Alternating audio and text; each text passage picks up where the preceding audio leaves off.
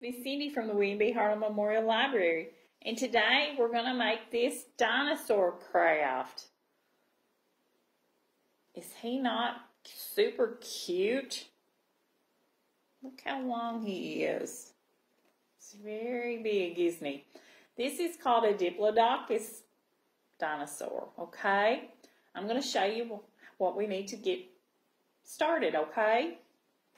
First off, in your bags this week, you're going to get a half of a paper plate.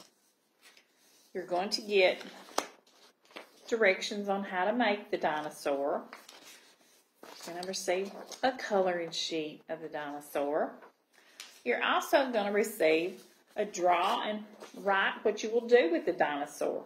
So you can draw a dinosaur and write what you would do if you had a dinosaur. Okay? And then you're going to get this um, Diplodocus sheet. And you're going to color. You can use markers. You can use crayons. And then after you get that done, then you're going to cut it out. And on mine, I drew some spots on him. You can draw some spots on him. You don't have to. You can color any color that you want, okay? Because it is your dinosaur. Okay? What you're going to need from home is going to be a glue stick and crayons or markers and a pair of scissors. Okay?